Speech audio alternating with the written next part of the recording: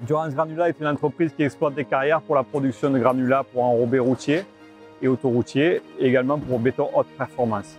Durance Granula maîtrise toute la chaîne de production, de l'extraction jusqu'à la réalisation du produit fini et les contrôles en laboratoire et les livraisons chez nos clients. Sur le site de Pérol, on extrait les granulats euh, alluvionnaires à l'aide d'une importante dragline euh, de 800 tonnes. Ensuite, on transporte les granulats sur le, le site de l'usine par convoyeur à bande et ensuite, dans l'usine, on réalise un concassage en quatre étapes euh, pour fabriquer tous nos produits. Sur le site de Pérol, nous réalisons une extraction de 1 200 000 tonnes par an euh, avec une trentaine de personnes. On sert principalement les centrales d'enrobés et les usines de fabrication de béton, mais aussi tout ce qui est négoce de matériaux. Sur le site de Pérol, on travaille historiquement avec Mezzo. On exploite aujourd'hui 10 broyeurs de chez eux et également deux cribles. Donc le MX4 a été mis en service en janvier 2018 euh, et il tourne maintenant depuis 10 mois. Nous avons aussi sur le site un MX3 en essai euh, depuis le mois d'avril 2018. Nous réalisons un broyage en 4 étapes et donc le MX4 est aujourd'hui installé sur un niveau secondaire. En revanche, le MX3 est situé sur le niveau quaternaire. Avant la mise en place du MX4, nous utilisions un broyeur CFB4 1300 le MX3 a été mis en place à la place d'un HP3 de chez Metro. Donc le changement de mâchoire s'est très bien passé. Euh, nous avons pu réutiliser la machine hydraulique que nous utilisons pour les HP pour le changement de mâchoire du MX4.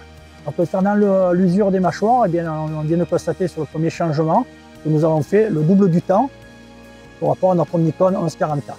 Voilà. Pour la maintenance, rien de particulier, il suffit de faire le, contrôle des réglages de, la machine.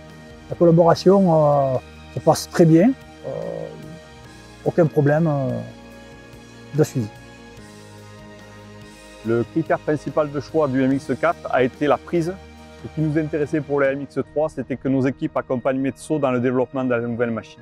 Nos attentes sur le broyeur MX4 étaient de satisfaire au moins les besoins de production que nous avons auparavant et si possible de gagner sur le point de vue de l'énergie. Le, le, MX4 a parfaitement répondu aux objectifs qu'on s'était fixés et sur le plan de l'énergie, nous avons gagné environ 12% par rapport à l'énergie de concassage à mettre pour euh, réaliser la production dont on a besoin. Ce qu'on a pu constater, c'est qu'avec le MX4, on gagnait en débit instantané par rapport à la machine précédente et donc on va pouvoir gagner en production globalement sur le site.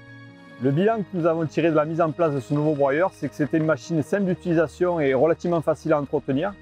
Mais au-delà de ça, pour tirer euh, le plein avantage des performances de la machine, il faut que désormais que nous travaillons sur le criblage qui se trouve en aval pour optimiser vraiment le fonctionnement de l'usine. Concernant le prototype de MX3, aujourd'hui il donne pleinement satisfaction et nous envisageons de poursuivre l'aventure avec cette machine.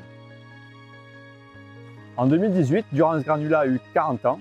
En 40 ans, notre métier a considérablement changé.